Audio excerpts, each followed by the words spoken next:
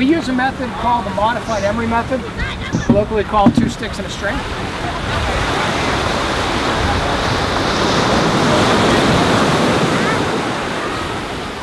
We're going to go out with a data sheet.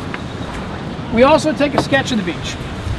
Pretty easy to go snip, snip, snip, take a few photos, but this actually makes you think about what the beach looked like. That boardwalk is no longer there.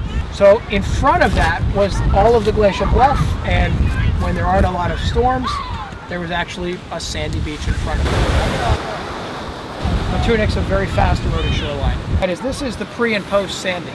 So the position of the shoreline retreated 23 feet in one storm. Things got reset, there's a berm, everything's nice, fat, and happy right now, but the whole thing has shifted landward following sanding. And it'll happen again in the next storm and the next storm. So I think we should go down and measure some profiles. What do you think, Rob? Sounds good. And beach profiles are used to uh, see what how the volume of the beach changes over time and the shape of the beach changes over time. What we're doing is not regulatory in itself, but, but it's used to uh, make and enforce regulations. Don't worry, the drywall close to the stick, but don't worry about the numbers here. Put your thumb right here and just slide down until your thumb, the top of Rob's stick, and the horizon are all lined up in a straight line. I'll be dumb stick for a while. We call that the smart end. This is the dumb end of the stick. It's, Here, what is? okay.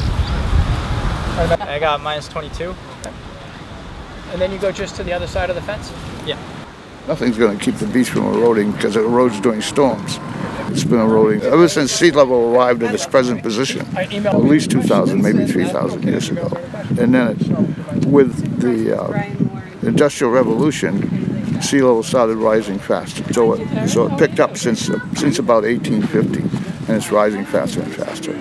But that doesn't in itself cause beach erosion, but it allows the storm waves to break up higher on the beach, so that so that would cause erosion further further inland, and that's that's a problem.